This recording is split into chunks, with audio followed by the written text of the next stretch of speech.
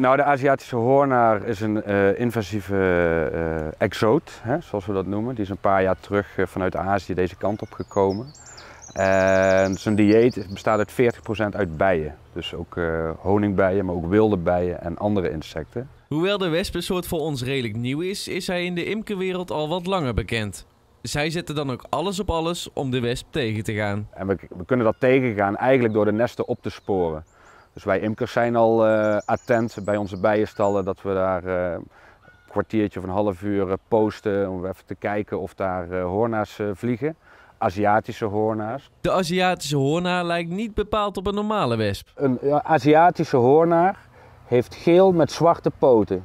Dus de bovenkant van, oh ja. de, bovenkant van de poten is zwart en de onderkant is, is, is geel.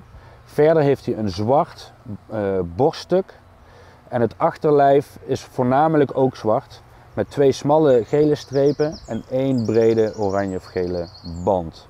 En hij heeft zwarte antennes. Natuurlijk moest ik ook zelf de proef op de som gaan nemen en de bijenkast van dichtbij aanschouwen. Alright. Nou, dan gaan we die kant op. Nee, in principe als je gewoon heel rustig blijft, dan uh, zullen ze niks doen. Maar eens hoe, hoe zwaar dat is. Zo.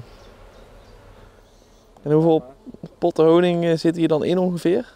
Uh, Eén zo'n raam is ongeveer uh, ruim een kilo. 1,1, 1,2 kilo.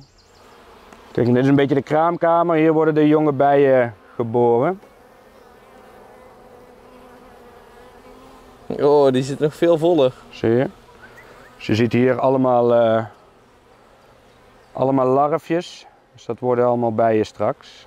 Kijk, hier, hier loopt de koningin. Hier. Hier, met de linkerpunt van mijn bijtel. Dus die bijen verzamelen stuifmeel. Ze schuiven dat naar achter naar hun achterpoten. En in kleine klontjes komt dat dan binnen. En dat slaan ze dan op in die celletjes.